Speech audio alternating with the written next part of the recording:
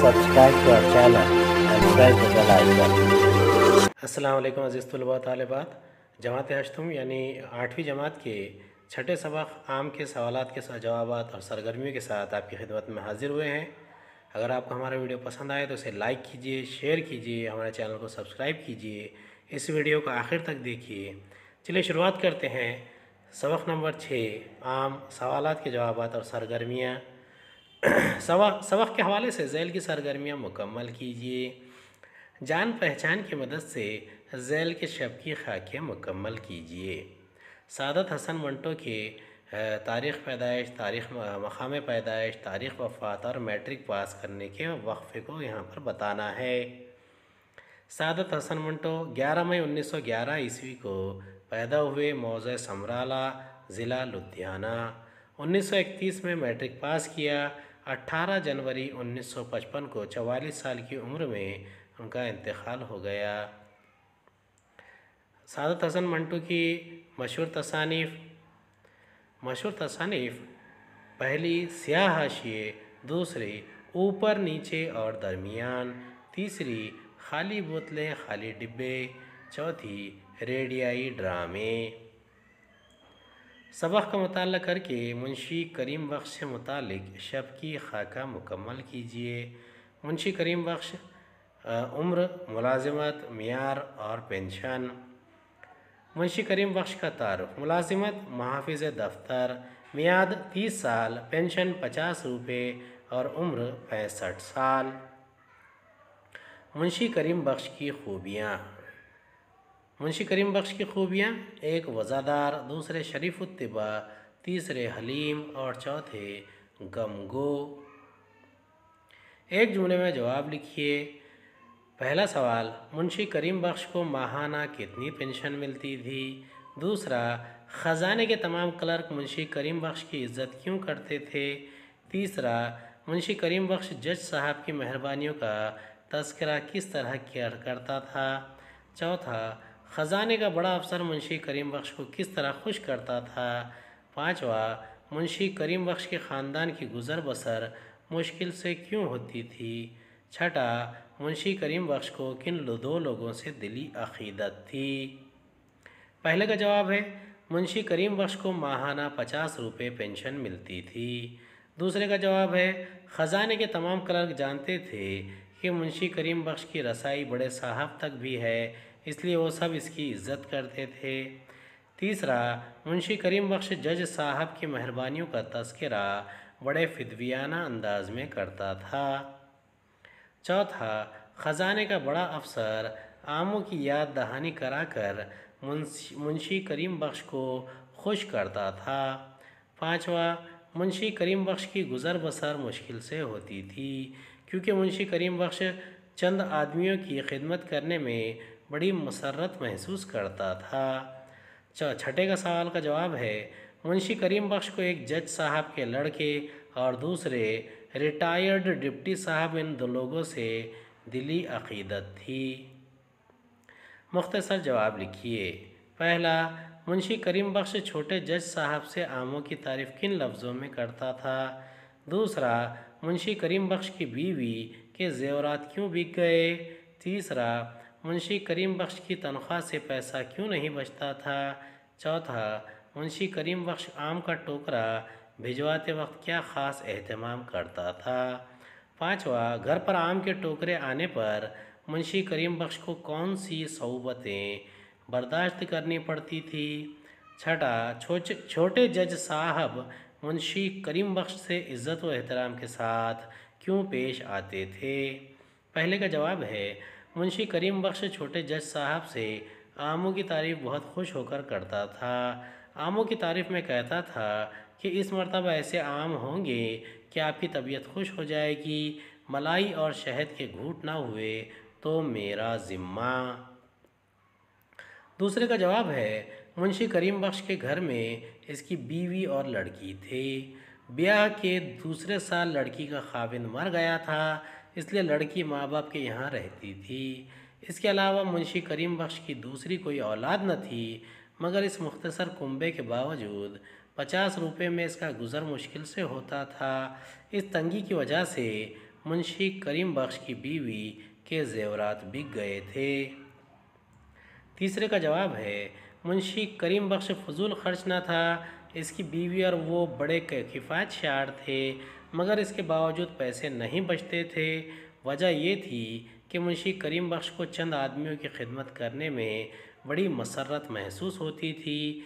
एक जज साहब के लड़के और दूसरे रिटायर्ड डिप्टी साहब, इन्हीं दोनों को मुंशी करीम बख्श हर साल एक टोकरा आम बाज़ार से ख़रीद कर भेजता था। चौथे का जवाब है, मुंशी करीम बख्श आम का टोकरा भिजवाते वक्त बड़ी भाग दौड़ करता, बड़े अहतमाम से टोकरे खोलता, इनका घास फूस अलग करता, दागी और सड़े गले दाने अलग करता और साफ़ सुथरे आम नए टोकरों में गिन गिन कर डालता था। गिने हुए आम इत्मीनान के लिए दोबारा गिनता था कि बाद में शर्मिंदगी उठानी न पड़े। मुंशी करीम बख्श आम का टोकरा भिजवाते वक्त ख़ास एहतमाम करता था। पाँचवें का जवाब है, घर पर आम के टोकरे आने पर मुंशी करीम बख्श को एक दिन आग के बिस्तर पर गुजारना पड़ता था। वो गर्मियों में आमतौर पर गसल खाने के अंदर ठंडे फर्श पर चटाई बिछाकर लेटा करता था, क्योंकि वहाँ मोरी के रास्ते ठंडी हवा आने से कुछ राहत महसूस होती थी। गर्मी के मौसम में ये सब झेलना पड़ता था। पाँच घंटे छोटा सा पंखा पानी से तर करके झलता रहता था। इंतहाई कोशिश के बाद भी आराम नसीब न होता, क्योंकि ज़िद्दी किस्म की मक्खियाँ सोने न देती थी। छठे का जवाब है, छोटे जज साहब मुंशी करीम बख्श के साथ इज़्ज़त व एहतराम से पेश आते थे, क्योंकि मुंशी करीम बख्श को इनसे उनसीयत थी। इन्हें मुंशी करीम बख्श के लब व लहजा में खुशामद और ज़र्रा बराबर भी मिलावट नज़र नहीं आती थी। मुंशी करीम बख्श जो कुछ महसूस करता था, कहता था। इंतकाल से पहले मुंशी करीम बख्श ने बीवी से जो नसीहत की थी, इसे अपने लफ्ज़ों में लिखिए। इंतकाल से पहले मुंशी करीम बख्श की बीवी को नसीहत, जवाब इंतकाल से पहले मुंशी करीम बख्श ने अपनी बीवी से आम से भरे हुए टोकरों को इस रोज़ शाम ही को डिप्टी साहब और छोटे जज साहब की कोठियों पर भेजने की ताकीद की। साथ ही इसने ये भी कहा कि इसकी मौत के बाद भी किसी किसी को आमों का राज मालूम ना हो। इसने ताकीद की कि लोगों को इस बात का पता ना चले कि बाज़ार से ख़रीद कर लोगों को आम भेजते थे। कोई पूछे तो यही कहना कि दीना नगर में हमारे बाग हैं, जब मैं मर जाऊँ तो छोटे जज साहब को इत्तला दे देना। दर्ज झैल मुहावरों को अपने जुमलों में इस्तेमाल कीजिए। पहला, दौड़ धूप करना। दूसरा, मुँह में पानी आना। तीसरा, सांस उखड़ना। मुहावरों का जुमलों में इस्तेमाल पहला। अक्सर लोग जुम्मा की नमाज़ से पहले खूब दौड़ धूप करते हैं। दूसरा जायकेदार गज़ा को देखकर मुँह में पानी आ जाता है। तीसरा, अक्सर दम्मा के मरीज़ों की साँसें उखड़ती हैं। मुंशी करीम बख्श के घर के हालात। जवाब, मुंशी करीम बख्श के घर के हालात अच्छे नहीं थे। इसे हर महीने पेंशन के पचास रुपये मिलते थे। घर में इसकी बीवी और लड़की थी। ब्याह के दूसरे साल लड़की का खाविंद मर गया था। मुंशी करीम बख्श की दूसरी कोई औलाद नहीं थी। पचास रुपये में इसका गुजारा मुश्किल से होता था। तंगी के बास इसकी बीवी के जेवरात बिक गए थे। दोनों बड़े किफ़ायत शार थे। इसके बावजूद एक पैसा नहीं बचता था। दूसरों की खिदमत करने में इसकी माशी हालत ख़राब हो गई थी। दर्ज झैल किरदारों पर रोशनी डालिए।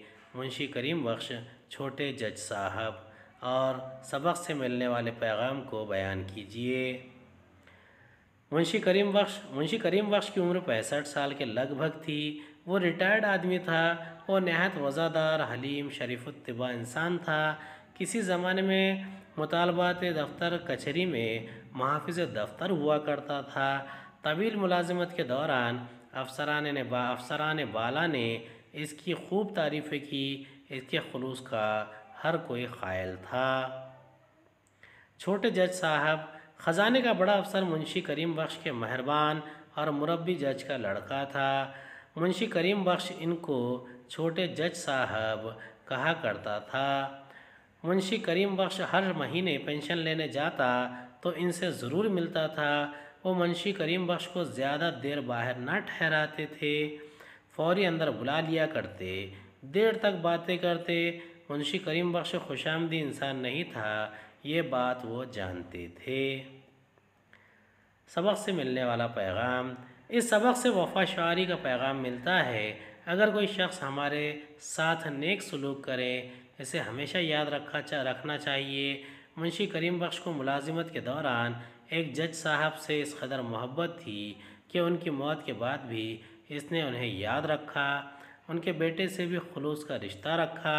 हर साल मौसम गर्मा में बाज़ार से आम ख़रीद कर घर पहुंचाता था। दूसरे रिटायर्ड डिप्टी साहब को भी आम का टोकरा भिजवाता।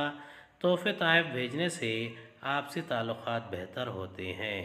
उम्मीद है ये वीडियो आपको पसंद आया होगा। अगले वीडियो में दोबारा मुलाकात होगी। खुदा हाफिज़।